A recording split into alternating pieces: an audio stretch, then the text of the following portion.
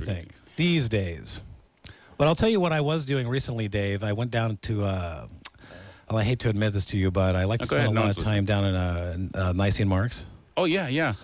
And uh, you know, I've been working on a comedy album, and it's going to be coming out soon. But I've been working on a comedy album, and uh, I, I put together a rough cut. And I thought we could play it maybe at the top of the next hour, but let's play it now just for fun to see if anybody's out there listening. Because this is a bit like when I was on last time and we did the uh, death whistle, but this is a, an audio skit.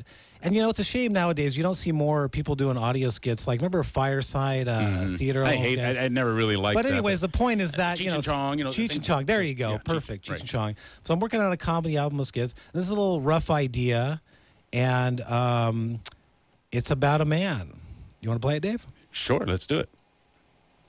Well, here we are, everybody. It's Friday the 13th, and as I promised, I'm walking us down to the creek here at Nisene and Marks, where we're going to try to get some video footage of the elusive Bigfoot. Ooh, scary.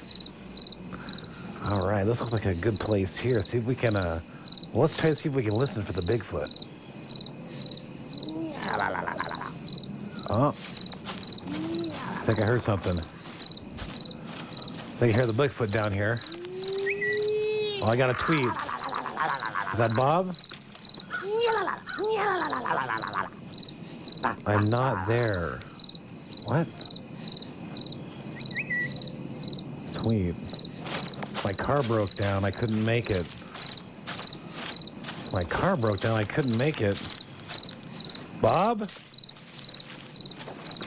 Uh. Uh.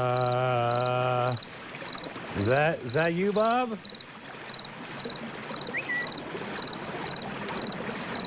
Oh man, this is not good.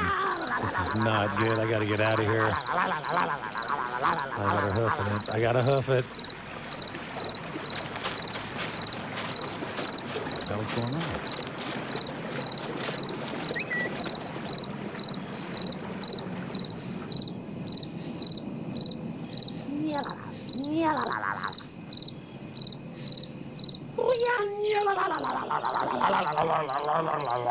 Now this is the end of the skit here, Dave. It gets a little bit dark. Uh, the man gets eaten, and there's a tweet there at the end, uh, his buddy.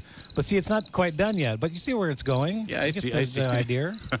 That's So we're gonna have more stuff like that on Flight 1080. All right, I like yeah. it, dude. I like that. Um, and does this guy live or did, no? He you didn't. No, you got to find out. Stay tuned to the next skit. All right, all right. We have to stay tuned. That is what a Bigfoot sounds like, right? I, I believe so. I mean, I, I believe so. okay, well, I think- 479-1080-218-5726 DM at KSCO.com. We're spending the day with Billy Armi. If you have any Hey, everybody. any ideas, you have any topics that you want to hear out about, there? we will talk about them. Call into us here at Flight 1080. I am co-piloting at the moment. Just played a interesting uh, skit about the Bigfoot, and you know it makes me wonder really about what Bigfoot sounds like, um, because there are audio clips there on the internet of Bigfoot. You know, you know the guy, the guy up in uh, Boulder Creek. I don't know if it's Boulder Creek, uh, up on There's Highway Nine. up there, right? Yeah, he's got audio uh, of- Does of, he? Bigfoot that he says has been recorded in the Soquel Hills and the Santa Cruz Mountains. But in the Soquel Hills, he says that How- he has. How can we be sure that it's not just like his cousin?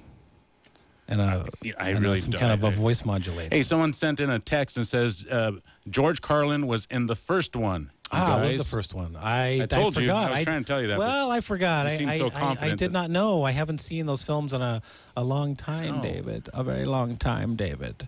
I have better things to do than watch those films. I mean, really. Well, I- I don't think I could watch that. They're Yeah. for fun. I saw a, a crazy movie the other night on the internet because a lot of people uh, there's movies on uh, YouTube, and it's great to watch movies on YouTube because you can see all the classics. But unfortunately, it violates copyright, so people will upload it, and it'll be like only a third of the screen, and the audio's off. So I've seen all the classics, but you know, and speeds that are incorrect and off. Right, or backwards. Or yeah, Or sometimes ridiculous. upside down. I saw this one movie. Uh, they were streaming it, and this is a, this is a real movie. Uh, Elijah Wood was a producer on it, and it was called the uh, Greasy Strangler. I do not recommend serious? seeing it. Don't don't see it. Don't see it. It- The uh, Greasy Strangler. Da- David, the the lead one of the leads is a very old man, Uh-huh. and there's a lot of nudity in it. Uh-huh. And all I can say is long and thin. Oh, jeez, that's gross. What's yeah, it called? it's called The- the, Greasy Strangler. He's got now. He's looking it up. gonna- See, I shouldn't have said anything, David. It's Greasy Strangler. You're right. You're right. yeah, and I guess that um, Elijah Wood was one of the producers on it. He's got strange taste if he was one of the producers, because I'll tell you what, it's a weird movie. Why did you watch it? What did you sit there and watch the whole streaming. thing? No, it was streaming on YouTube. So I'm like, oh, here's a free movie because this guy was streaming it out, and it wasn't, you know, it was it was he was full streaming it, and he had his head on top of it. Um, that sounded bad. No, he had uh, what people do on the internet. You see, David. Is on YouTube, they'll stream out and they'll have like them, we're sitting here, and then they're on top of the movie and they can get away with it because they call it commentary or something. But, anyways, he was streaming this thing out, this greasy strangler, and it was, you know, humorous uh, in parts, but uh, disturbing. And uh, uh, older man, long and long thin. All right, 479 1080. Um, believe it or not, we got a call. Maybe it's a wrong That's number. Maybe- beautiful. Who is calling maybe out he there? got the Who's wrong joining number. us here on Flight 1080? You are in the air caller. Neil. Hi, I was just. Um, it seemed like you were soliciting um, some feedback on that on that skit, that piece that you, you just played. Yes, sir.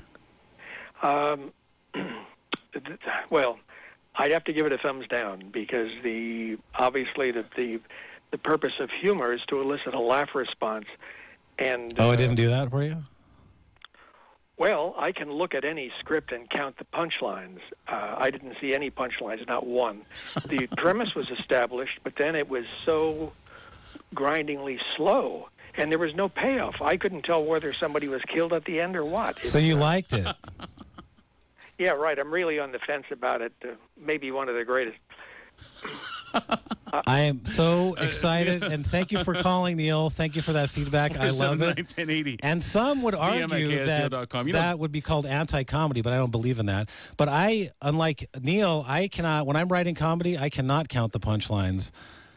But no, everyone is different, and that's just the way that it is. But that's great that Neil called in, and like I said, Neil, that is a rough cut of a comedy skit, Right, and the premise is there, and it's not quite there. But you are correct, Neil. At the end there, uh, we do not know if. What happens to the man, or even if that is the Bigfoot? All we know is that the guy comes out. That's what happens to him, Neil. If you were walking out in the forest, Neil, and that happened to you, I'd probably laugh. Maybe not. Anyways, You know, you got to use your imagination too, right? have to use your imagine. I picture Bigfoot sounding like that. Am I wrong, Uh, Dave? I don't. I've never seen a, a Bigfoot, so I, I I've couldn't never answer seen a you. Bigfoot either, but I imagine that's what it sounds like. Joe in Happy Valley, you're in the air. What's going on, Joe? Okay, I never thought I'd say this, but can we get Billy Sunshine back? And I just want to say, my five-year-old sister's been in a band. I think like half the population has been in bands. We don't need to hear your little aspects of being in a band. Thank you. Aspects of being in a band. He must be listening to a different show. Maybe that was the wrong number. I don't know what you're smoking, buddy, but I want some of it. Four seven nine one zero eight zero two one eight five seven two six. Maybe no one just maybe just nobody likes you, Billy. That's maybe No, just- it's okay that nobody likes me. That's the whole idea. I don't want you to like me. I want you to hate me, hate me a lot. The more hate, call in with your hate here on 479. I thought it was 1080. funny, Billy. I thought it was funny, and I'm looking forward to the tasty or tainted Well, we're Uh, going to have a good time. uh, game show coming up in the next hour. That is fantastic. That's great. Now, Yes, sir.